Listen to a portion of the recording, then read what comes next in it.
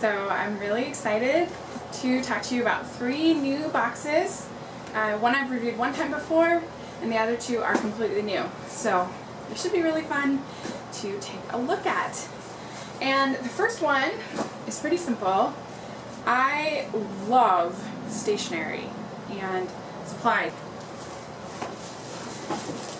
In fact, I have been collecting stationery since I was little because my grandparents lived in California, I lived in Maryland, and it was before uh, email and it was expensive to call long distance and so we would write letters to my grandparents. And uh, so I've just always really loved I, I, I mean I love social media I love email but I love getting an actual note in the mail. It's probably my favorite thing in the whole world. And so I even have, this is my collection of stationery. I had actually gone through most, I served a LDS mission when I was 22 and you write a lot of letters uh, during that and I went through basically my whole uh, stash, my whole collection uh, then and so a lot of these are, well pretty much all of this is what I've built up in the last 10 years. And I have this bag of stickers and it has my uh, the bag is from my college, BYU, and it's like full, and I seriously have had this bag since college uh, of stickers. Like there's stickers that are in here that I've had that long. And of course I keep adding to it, taking away, but I've had the collection that long, which is amazing. And I, I have all my stationery divided up, and like here's, these are all uh, whenever like a Hallmark would go out of business or something like that, then I would stock up. And these are all like get well, sympathy kind of cards.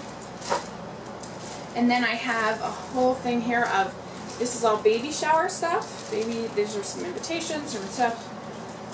I'm single, I always amass to throw baby showers. And then I have all different thank you notes. This one is awesome. I actually have even a whole nother box. I wasn't planning on showing you all this, but oh well. This is awesome. This is this set, The Art of Pixar, and it's these postcards that are like concept art and different uh, arts from art from the movies. I love Pixar. I'm a huge fan. And this was before Up that I, I mean, I've had these 2005. So I, I got these, so awesome. And see here, I've got a whole thing of, this is just for like, just say hi, friendship. Um, then there's, this is all bridal shower, wedding, wedding cards. There's, um, just like random weird stuff, like those are some Easter cards. And different envelopes. Like I said, I have a whole nother box uh, of a lot of it is a whole box of just different thank you cards that I have, which are awesome. Here's one. Thanks in different languages. Here's some birthday cards. So anyway, that's random, but I just love stationery. And like this is hilarious. This says it's your birthday. And then and it says celebrate accordingly and it plays the polka and I think that's so funny. So yeah, I really love I love cards, I love stamps, I love postage. Here's a graduation card. So, all of that, the long and short of it, to get back to reviewing, this is called the Pennie Post.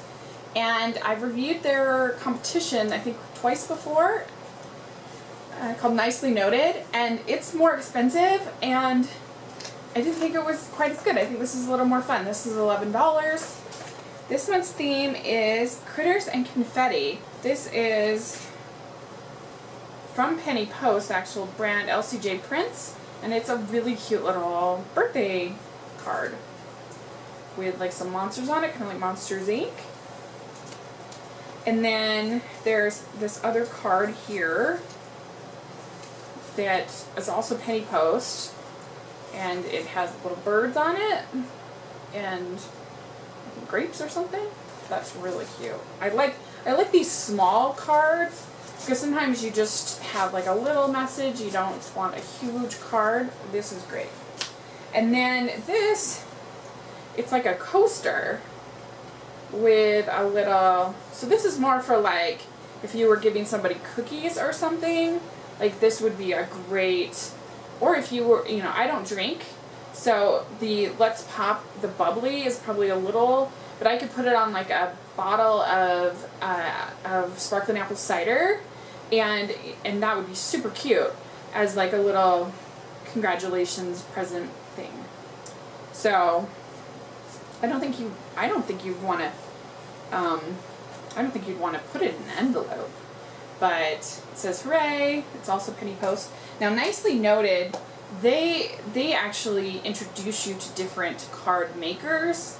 So they'll have like three different, it's not all their products. And like their their cards, it is should cost more money for nicely because their cards are handmade, uh, more uh, more work is gone. They're not just printed, uh, you know, materials like these, which are awesome. But uh, anyway, so that's the difference, I guess, between Nicely Noted and the Pennie Post. But I really like both. I love, obviously, I love stationery. I think it's really fun. And I just love getting a, uh, um, getting a, a card in the mail. I think it's great. So I, I'll put the link down below if you want to subscribe and to Pennie Post or to Nicely Noted. I'll put both down there and take a look and let me know what you think. So if you like, I'm going to go ahead and review these other two boxes. This ended up being longer than I thought. And so check the channel for the other two boxes and uh, let me know what you think. Thanks.